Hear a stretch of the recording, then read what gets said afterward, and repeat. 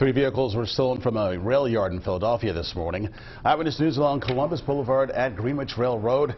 That's where CSX confirms three vehicles were stolen. According to a statement from the company, one of the three vehicles has been recovered and an, and an arrest has been made. The company says the investigation remains ongoing.